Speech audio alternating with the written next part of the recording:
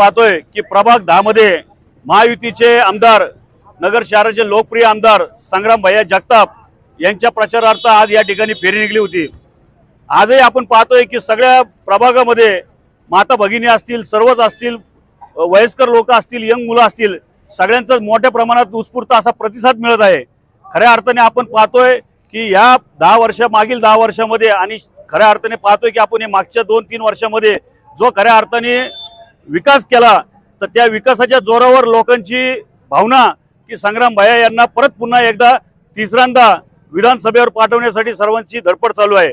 आणि खऱ्या अर्थाने पाहतो की संग्राम भाया यांनी तिसऱ्यांदा त्या विधानसभेत जावं आणि नगर शहराचे राहिलेले प्रलंबित सगळे कामं त्यांच्या हातून पूर्ण व्हावं एवढीच विनंती करतो. आणि सगळ्या नगर नगरवासियांना बोलतो की चार नंबरचं बटन घड्याळ यांना महायुतीचे उमेदवार यांना जास्तीत जास्त भरघोस मतांनी निवडून द्यावं. हीच विनंती. जय हिंद जय महाराष्ट्र. आज प्रभाग क्रमांक दहा मध्ये महायुतीचे उमेदवार माननीय संग्राम भैया जगताप यांच्या प्रचारार्थ रॅली काढण्यात आलेली आहे व त्याचा उत्स्फूर्त प्रतिसाद नागरिकांनी दिलेला आहे. तर मी सर्व नागरिकांना नगर शहरातील असे आवाहन करते की त्यांनी संग्राम भैया यांना निवडून देऊन विकास कामांना गती देण्याचे काम हे केले पाहिजे. जर का भैया निवडून आले तरच नगरचा विकास हा इथून पुढेही होत राहील. त्याबद्दल सर्व नागरिकांनी भैयांना मतदान करावे असे मी जाहीर आवाहन करतो. धन्यवाद. जय हिंद जय महाराष्ट्र. नमस्कार. तर आज संग्रामभैया जगताप आमच्या वॉर्डामध्ये आलेले.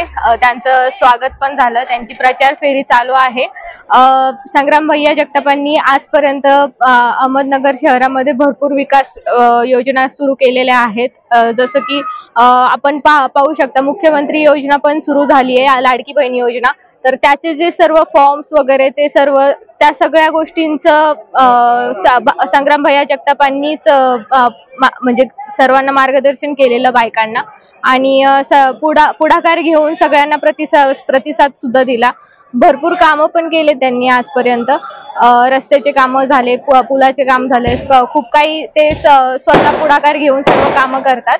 आणि असेच उत्तरोत्तर त्यांची प्रगती होवो आणि त्यांनी काम करो अहमदनगर शहरासाठी. त्यासाठी शुभेच्छा. सर्व भगिनींकडून त्यांना हार्दिक शुभेच्छा.